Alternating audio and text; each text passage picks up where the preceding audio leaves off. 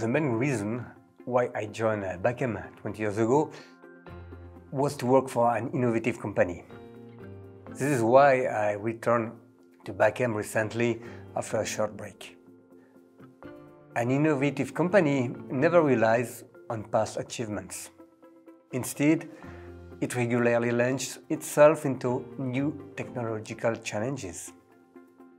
This is what we are doing now at Bachem with oligonucleotide chemistry, green chemistry projects for the cosmetics and pharmaceutical industries.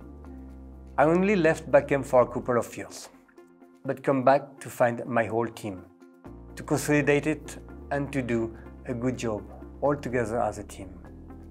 It's very satisfying to work with interesting and engaged customers in an innovative environment of experts.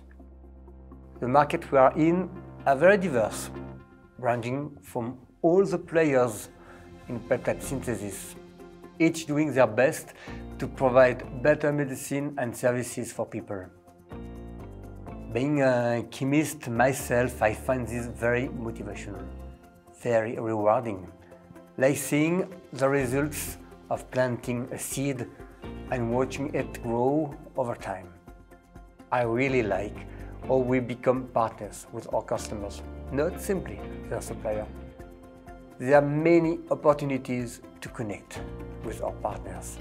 My favorite one is during trade shows and scientific symposia, or during a visit on site and to discuss their projects.